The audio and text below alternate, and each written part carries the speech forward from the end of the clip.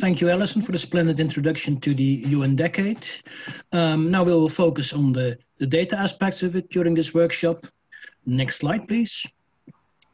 But I would like to start with a very short introduction, one slide introduction to IODE and explain why IODE and IOC together are hosting this uh, session on data for the UN decade. Um, IODE is the data committee of the Intergovernmental Oceanographic Commission of UNESCO and consists of some 66 national oceanographic data centers and 30 associated data units, usually uh, regional data centers. And the objectives of IODE are to and the bolding, uh, no, the bolding, the, the underlining is to um, um, show the, the, items important for this uh, workshop, uh, facilitate and promote discovery and exchange of and access to marine data and information, long-time archival, preservation, documentation and management and service of all marine data.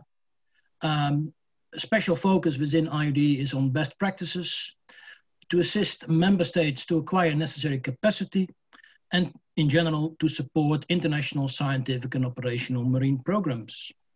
Some of these flagship products, projects of IODE are the World Ocean Database, with, um, uh, where uh, NCEI of NOAA uh, is leading um, facilitator of the whole World Ocean Database.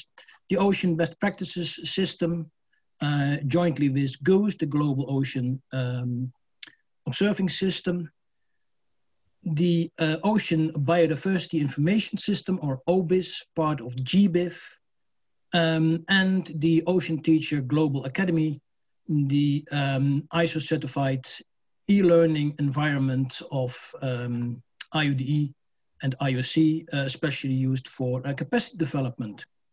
Some current projects, and we will come back to the, these uh, later on during my presentation and other presentations, very relevant to the UN decade are ODIS-CAT, ODIS, and OIH, Ocean Info Hub. Next slide, please.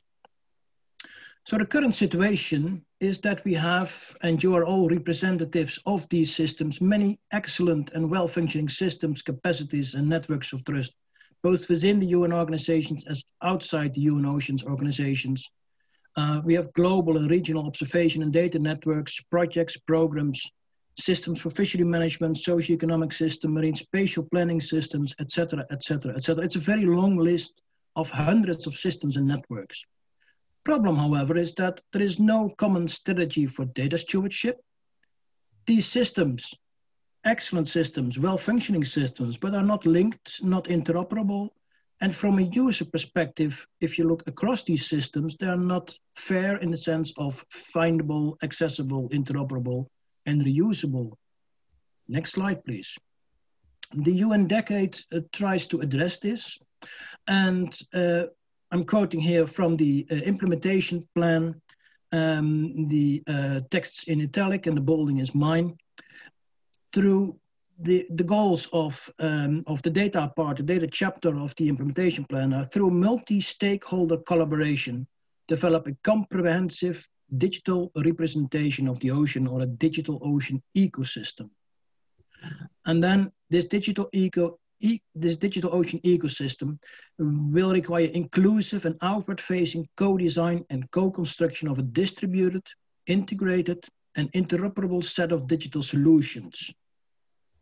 And finally, incorporating established approaches and technologies. It is very important to well, some of the key things to to to remind yourself is it's a joint effort. It's it's working together. It's building also on what already exists. It's not reinventing the wheel. It's not building a new system for the decade. No, it's building on all these excellent, well-functioning systems. It's inclusive. It will include local and traditional knowledge. It's very much cross-disciplinary. It's not limited to the natural sciences it also includes the social sciences and a whole range to economics. And it's aimed at a full range of users and users. It's called the UN Decade of Ocean Science, but it's not the main, it's not aimed at purely scientists. It's for policymakers, it's for citizen scientists, it's for society at large. Next slide, please. So the summary, the digital ocean ecosystem will form an openly accessible, usable, and responsive digital management framework for the decade. And then with the existing and future data and information system and infrastructures as interoperable components of a global whole. Now, fortunately, we don't have to start from scratch because many elements of this UN Ocean Digital Ocean System, Decade Digital Ocean System are available or being developed. First and foremost, all the existing data and information system of which you are representatives.